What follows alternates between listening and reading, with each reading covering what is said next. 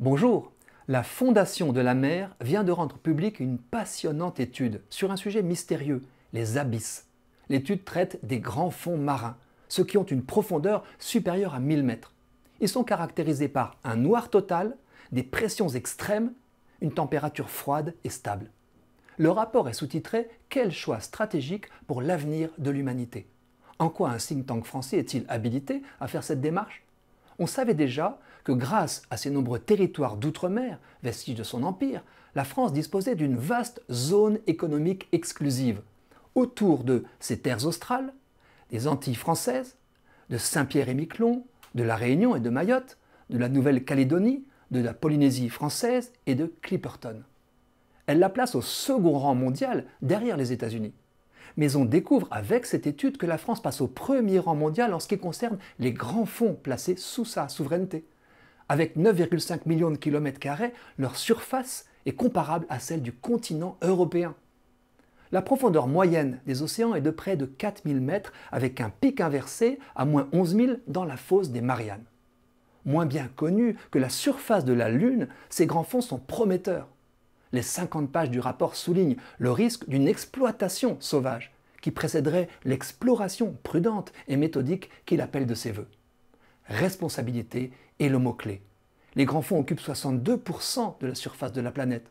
En plus de leur immensité, divers phénomènes géologiques expliquent la présence massive de ressources en minéraux rares. Il y a les fameux nodules polymétalliques qui jonchent la plaine abyssale, et aussi des encroûtements cobaltifères mais également des concrétions générées par les volcans sous-marins, dont 1000 sont encore actifs, et même des lacs sous-marins d'eau très salée. La biologie n'est pas en reste. On a longtemps cru impossible la vie dans les conditions de pression ou de chaleur extrême. Mais non. À proximité des volcans immergés, de l'eau est maintenue à l'état liquide par la pression alors qu'elle est à plusieurs centaines de degrés Celsius. S'y développent des oasis de vie. Autour de cheminées hydrothermales pullulent des micro-organismes extrémophiles qui aiment des conditions extrêmes. L'industrie pharmaceutique rêve de trouver dans ces organismes les médicaments du futur, nouvelle génération d'antibiotiques notamment. Là où la photosynthèse est impossible, l'énergie produite par chimiosynthèse. Les organismes vivants s'adaptent à l'obscurité des grands fonds. Plus des trois quarts des espèces marines produisent leur propre lumière la bioluminescence sert à se repérer, se trouver, chasser, voire se camoufler. On a même observé un foisonnement de vie autour des cadavres des cétacés et des gros poissons qui jonchent le fond. On en trouve un tous les 10 km.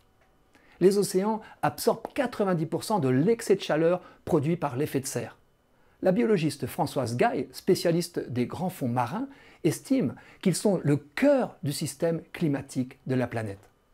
Bref, qu'il y ait tant de choses encore à découvrir, à exploiter, mais surtout à préserver sous la surface, est une bonne nouvelle.